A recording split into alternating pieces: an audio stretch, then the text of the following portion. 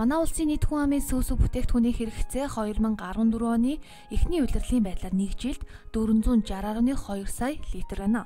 Энэ хэрэгцээний 13.7%-ыг дотоодын үйлдвэрлэл буюу Примерийн аж ахуй сүүний үйлдвэрүүдийн тусламжтайгаар хангаж байгаа юм а.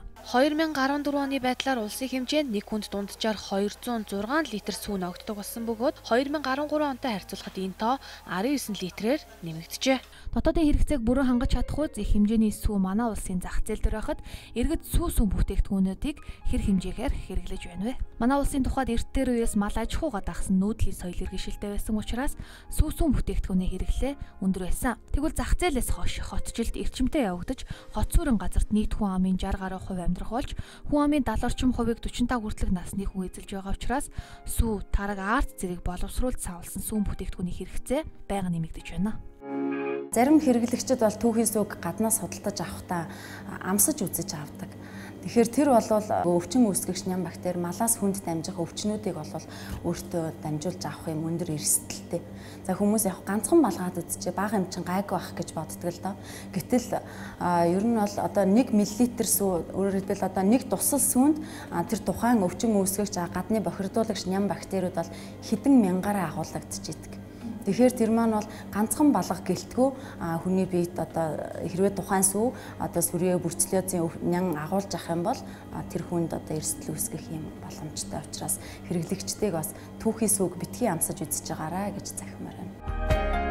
2013 онд сүү сүү бүтээгдэхүүний дотоодын үйлдвэрлэлийн тухайд шингэл сүү 26 сая 607.4 мянган литр, тарганы тухайд 8 сая 803.5 мянган литрийг үйлдвэрлэжээ.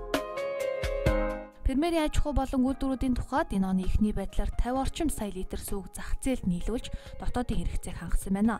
Импортын хуваараа сүг орлуулах дотоодын сүүний фермерийг хөгжүүлэх зорилгоор Улаанбаатар хот орчим дунджаар 100 км-ийн радиуст тус бүр 300 сүүний чиглэлийн үнэ бүхий 15 сайлын эрчимдсэн аж ахуйг байгуулсан байна. Тэгвэл үрхийн аж ахуй тулгуурсан сүүний ферм мөн томоохон хэмжээний фермерүүд байдаг. Эдгээр фермерүүдээс иргэдийн сүү сүм бүтээгдэхүүний хэрэгцээг хангах зорилгоор үндэсний томоохон үйлдвэрүүд илүү авч хэрэглэгчдийн гарт хүргэж байна. Ингэснээр буух эзэнтэй буцах хаягтай гарал үүсэлтэй бүтээгдэхүүнүүдийг хэрэглэгчдэд хүргэж байгаа юм а.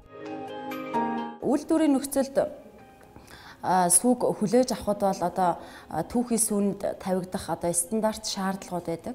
За тэр шаардлагуудыг сүүний үйлдвэрүүд бол одоо лабораторийн шинжилгээгээр хянаж ингэж баталгаажуулж авдаг.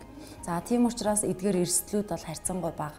А гэтэл одоо хэрэглэгчид задгаагаар одоо түүхий сүү гаднаас одоо худалдаж авах тохиолдлууд бол их байдаг. А гэтэл энэ тохиолдолд бол тэр сүүнд одоо малын өвчин байна уу үгүй юу?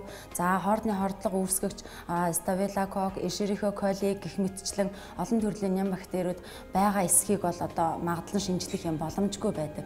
Тэгэхээр энэ бол түүхий сүг авч хэрглэж байгаа хэрэглэгчид маань өөрийнхөө эрүүл мэндийг бол одоо их өндөр эрсдэлд оруулж байгаагаа бол мэддэггүй. 2007 онд эрүүл мэндийн яам болон хүнс хөдөө аж ахуйн сайд нарын хамтарсан тушаалаар хүн амын сүүсүн бүтээгдэхүүний хэрэглээний зөвлөмж хэмжээг хоногт 430 г буюу жилд 157 литр байхаар тогтоосон байдаг.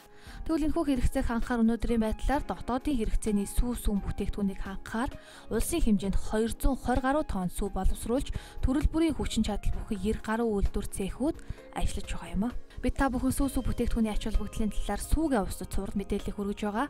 Тэгвэл дараагийн дугаартаа сүү сүм бүтээгдэхүүний үйлдвэрлэлийн талаарх мэдээллийг дэлгэрэнгүй хүргэх болно.